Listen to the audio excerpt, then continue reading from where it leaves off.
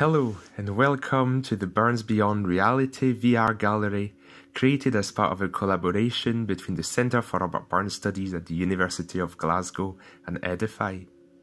I'm Dr. Paul Malgrati, and I'd like to talk to you about Burns's Address to a Haggis, which is perhaps the most famous poem ever written about food in the history of world literature.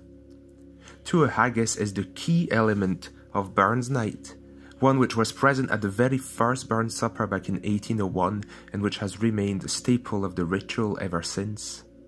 Here is a copy of To a Haggis in the second edition of Burns's poems, published in Edinburgh in 1787, and which was the first time that To a Haggis appeared in Burns's collected works. To a Haggis is a very artful, comic attempt by Burns to defend rustic Scottish food. The haggis is a popular Scottish dish made of lamb offal and oat stuffing in a sheep's stomach. It was first mentioned in a comic way by Scottish poet William Dunbar in the late Middle Ages.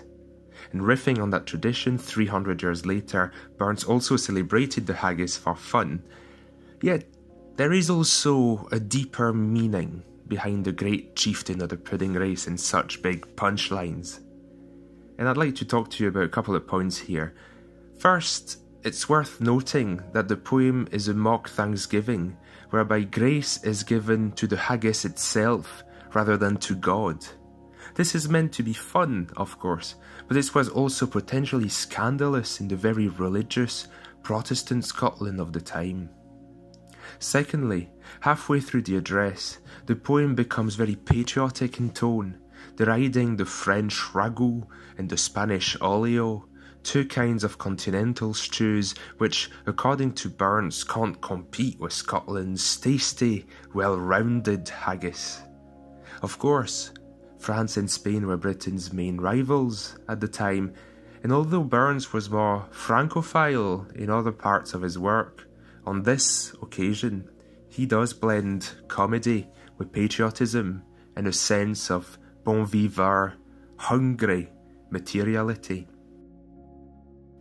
So, this is another one of the complex fusions that allowed for both the success of Haggis, Neeps, and Tatties and of the Burns Supper until the present day.